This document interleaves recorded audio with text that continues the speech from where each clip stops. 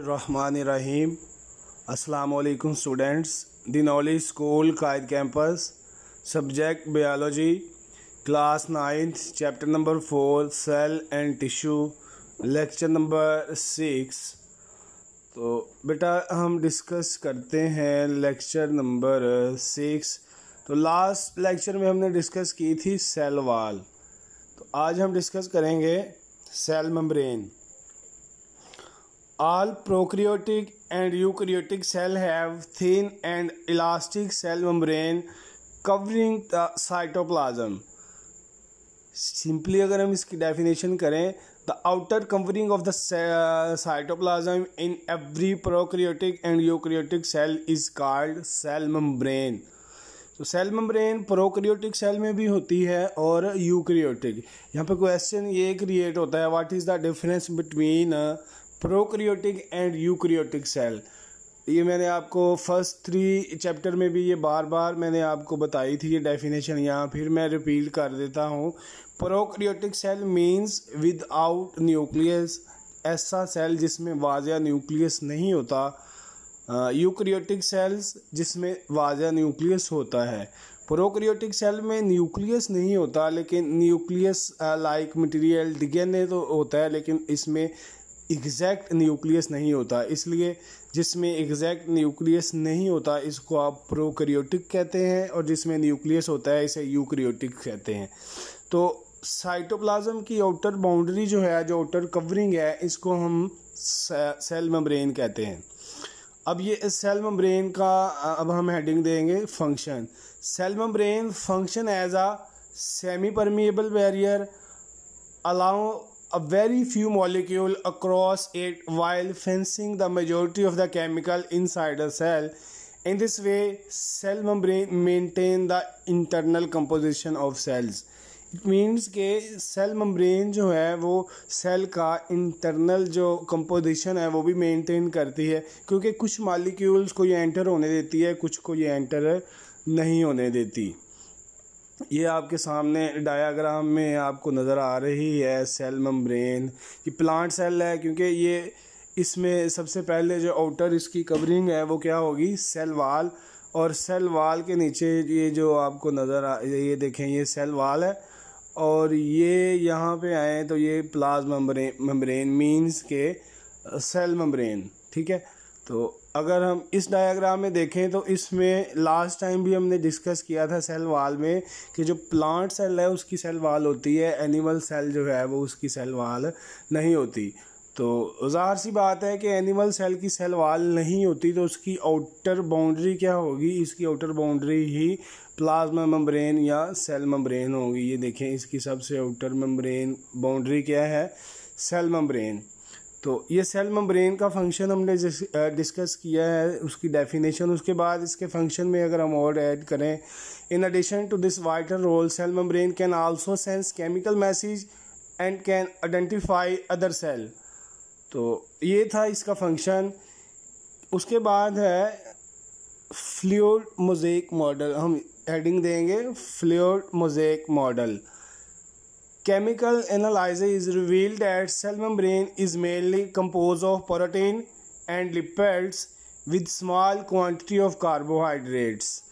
तो ये थी इसकी कंपोजिशन कि सेल मेम्ब्रेन में क्या क्या चीज़ें होती हैं, ये हम हेडिंग देंगे इसकी कंपोजिशन की कि इसमें प्रोटीन लिपिड्स और थोड़ी सी अमाउंट में carbohydrates electronic microscopic examination of cell membrane have led to the development of fluid mosaic model of the cell membrane अब यहाँ पे ऊपर वाली जो लाइन है, वो यहाँ पे chemical analysis reveals that cell membrane is mainly compose of protein lipids with a small quantity of carbohydrates इसको हम एडिंग देंगे कंपोजिशन ऑफ़ सेल मेम्ब्रेन तो उसमें प्रोटीन आ जाएगी लिपिड आ जाएगा और कार्बोहाइड्रेट उसके बाद हम हेडिंग देंगे फ्लूड मोजेक मॉडल ये क्या है fluid mosaic model according to this model ये डेफिनेशन इसकी लिखी हुई है।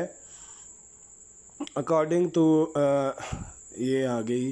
According to this model there is a lipid bilayer in which the protein molecule are embedded this is the fluid mosaic model there is a lipid bilayer in which protein molecule are embedded the lipid bilayer give fluidity and elasticity to the membrane small amount of carbohydrate are also found in the cell membrane these are joined with the proteins are the lipids of the membrane तो इस para ये जो last three line है page number eleven पे इसके ऊपर हम heading देंगे fluid mosaic model according to this model cell membrane is a lipid bilayer in which protein molecule are embedded.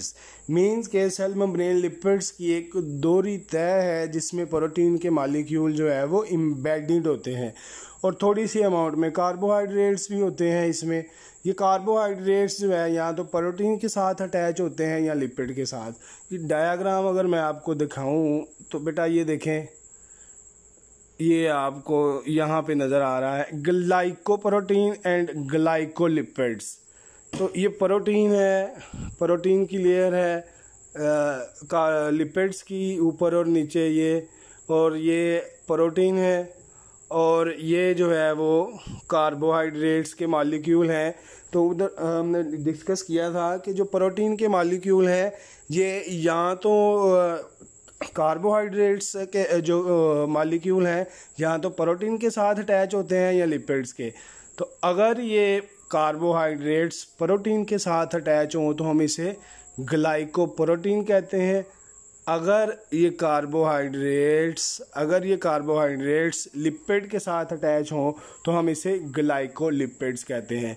ये शॉर्ट क्वेश्चन आ सकता है what is the difference between glycolipids and glycoprotein if the carbohydrates attach with the lipid this is called glycolipids if the carbohydrates attach with uh, protein it is called glycoproteins तो ये था fluid mosaic model in eukaryotic cell cholesterol is also present in the lipid bilayer in eukaryotic cell many organelle mitochondria chloroplast Golgi apparatus and endoplasmic reticulum are also bonded by cell membranes तो ये organelle ये जो है, ये cell membrane के inner side में मौजूद होते हैं। तो दोबारा हम डिस्कस करें तो सबसे पहले सेल मेम्ब्रेन की definition the outer elastic and thin covering of cytoplasm is called cell membrane सबसे पहले ये हम डेफिनेशन की हेडिंग देंगे, उसमें ये डेफिनेशन लिखेंगे, उसके बाद हम फ़ंक्शन लिखेंगे इसके तो उसमें फ़ंक्शन में आ जाएगा cell membrane function as a semi permeable barrier along a very few molecule across it while fencing the majority of the chemical inside in this way cell membranes maintain the internal composition of cell. In addition to this vital role, cell membrane can also sense chemical message and can identify other cell.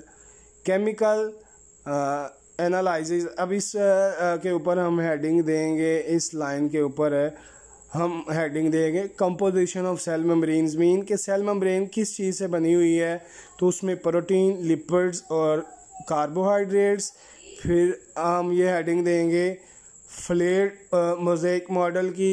उसमें हम ये बताएँगे according to this model there is a lipid bilayer in which protein molecule are embedded the lipid bilayer gives fluidity and elasticity to the membrane small amount of carbohydrates are also found in the cell membrane तो ये था cell membrane उसके बाद हम discuss करते हैं जी cytoplasm उसके बाद हम डिस्कस करते हैं cytoplasm cytoplasm is the semi viscous and semi transparent semi viscous and semi transparent semi का मतलब होता है कि मुकम्मल तौर पर नहीं, ठीक है? सेमी ट्रांसपेरेंट मीन्स के मुकम्मल तौर पर ये शफाफ नहीं है। विस्कस का मतलब होता है गाढ़ा। तो सेमी का मतलब है कि ये मुकम्मल तौर पर गाढ़ा नहीं है।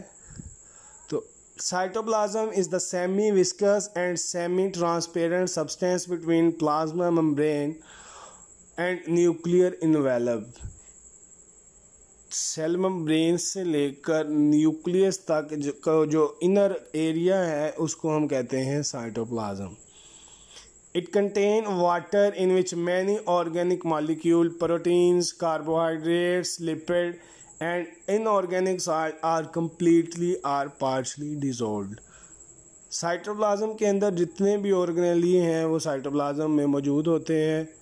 उसके बाद इसका फ़ंक्शन क्या है? ये हम हेडिंग देंगे इसके फ़ंक्शन की। Cytoplasm provide space for the proper functioning of organelles and also act as the site for various biochemical reactions. For example glycolysis. Glycolysis means breakdown of the glucose during the cellular respiration. This is occur in the cytoplasm cytoplasm जो है, ये cell का बहुत ही important part है। तो सबसे पहले बेटा मैं दोबारा रिपीट कर दूँ, हमने सेल को डिस्कस करना है, हम सेल का स्ट्रक्चर देख रहे हैं। सबसे पहले हमने सेल वाल डिस्कस की। सेल वाल के बाद सेल मम्ब्रेन सेल मम्ब्रेन के बाद साइटोप्लाज्म अब उसके बाद नेक्स्ट लेक्चर में हम साइटोप्लाज्म के जो इनर ऑर्गेनली हैं, हम फर्दर जो है वो वो डिस्कस करेंगे। ये था लेक्चर नंबर सिक्स